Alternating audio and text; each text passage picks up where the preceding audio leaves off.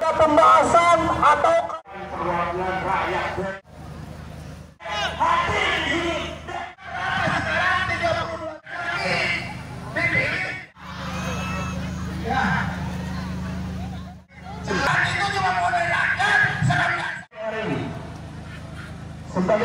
kan ada 11 klaster kan gitu. Keluarkan aja tapi tetap eh, meski itu istilahnya di eh, dimasukkan. Kami juga sebagai buruh istilahnya banyak lah yang nyisir bahwa itu hoak dan kami itu bayaran menurunkan eh, rezim eh, Jokowi tidak. Kami cuma aspirasi pengen perpu itu dikeluarkan presiden artinya omnibus law itu jangan sampai terjadi nah kami dukung Jokowi tapi andainya dia sampai ke, ke seperti itu ya apa dikata? Terus dia itu disahkan mewakilin apa?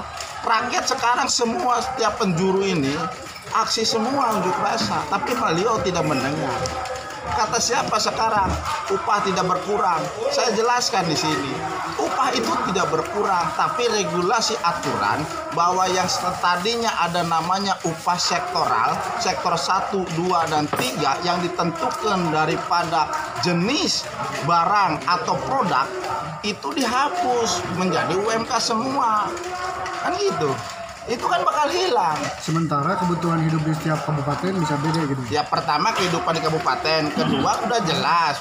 Sekarang kayak pabrik kabel, pabrik lem dan dan garmen, resikonya kan berbeda. Artinya upah juga nggak boleh bersama. Apabila itu disamakan, ya susah lah. Itu. Terima kasih. Saya ucapkan rasa hormat yang sebesar-besarnya kepada seluruh keluarga besar Alam Jemur Subang Bersatu yang tidak bisa saya ucapkan